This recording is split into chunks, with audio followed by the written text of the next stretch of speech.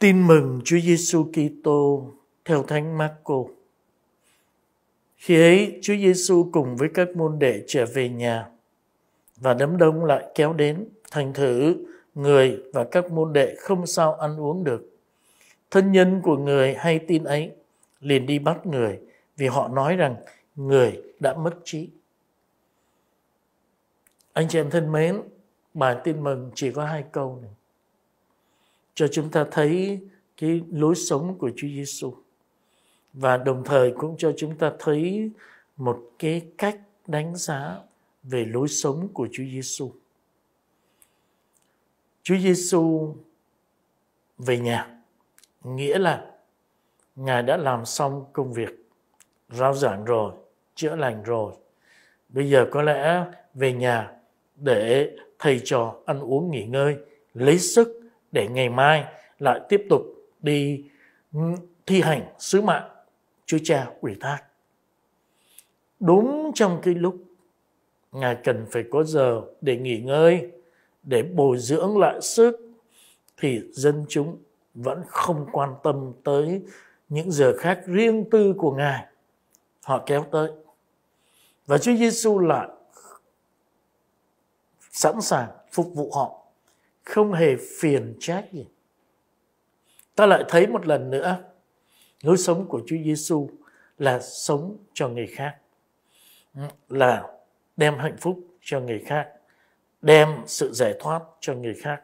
Như chính Ngài đã tuyên bố à, trong diễn từ khai mạc cái thừa tác vụ công khai của Ngài tại hội đường Nazareth.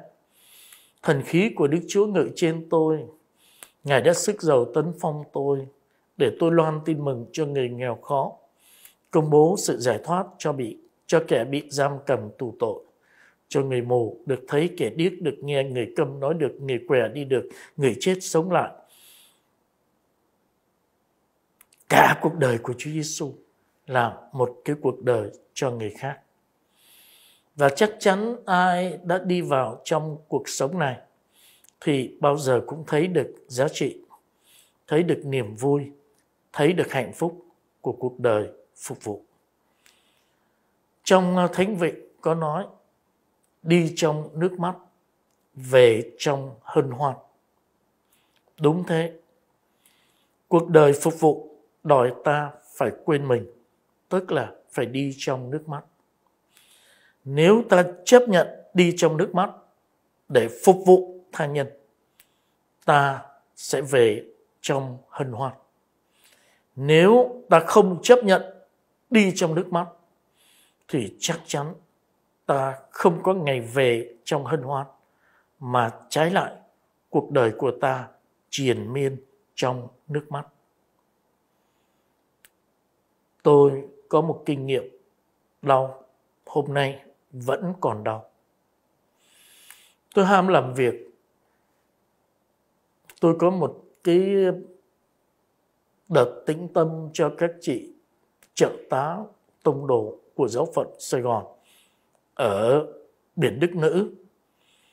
Tám rưỡi phải nói chuyện với các chị.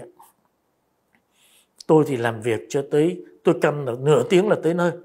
Cho nên là tôi làm việc tới 8 giờ thiếu năm tôi mới đứng lên. Lấy xe ra. Vừa ra tới nhà thờ cửa cổng tu viện Sài Gòn thì thấy có một bà, chẳng biết bà ấy bị làm sao, bà ấy nằm ở dưới đất.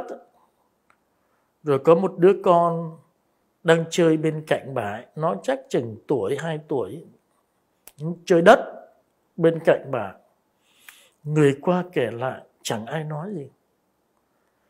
Riêng tôi thì trong lòng có một tiếng nói, dừng lại để xem người ta bị cái gì nhưng mà một tiếng nói khác ở trong tôi lại bảo, còn giờ đâu mà ở lại?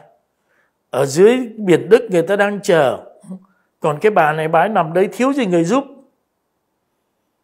Bị rằng co, nhưng cuối cùng tôi vẫn cứ đi, không quan tâm gì tới bà.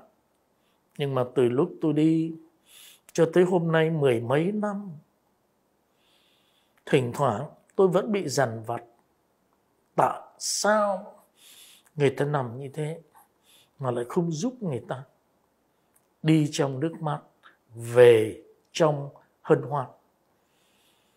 Nhưng mà có những người hưởng thụ, không quan tâm gì tới việc phục vụ người khác. Chỉ muốn mọi người phục vụ mình, mà mình không phục vụ người khác. Đã thế lại còn phê bình những người phục vụ người khác. Đó là các thân nhân của Chúa Giêsu trong bài tin mừng chúng ta vừa nghe. Tại họ phê bình Chúa Giêsu họ bảo Chúa Giêsu là mất trí, là tại vì giữa Chúa với họ không có một nấc thang giá trị chung. Chúa thì coi giá trị của cuộc đời làm người là một cái cuộc phục vụ triền miên.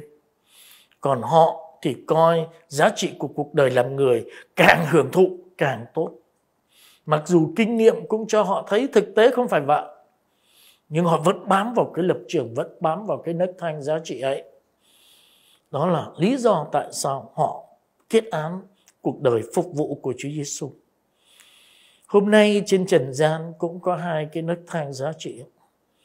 Là người đi theo Chúa, ta được mời gọi chọn nấc thang giá trị của Chúa, tức là chọn phục vụ, làm lẽ sống, làm nguồn bình an hạnh phúc của mình. Chứ không chọn hưởng thụ. Nhưng đôi lúc chúng ta vẫn bị cám dỗ chọn hưởng thụ. Ta xin Chúa cho chúng ta biết đứng hẳn về phía Chúa Giêsu, chọn nấc thang phục vụ để ta có thể đem bình có được sự bình an và có thể đem bình an hạnh phúc cho tha nhân. Amen.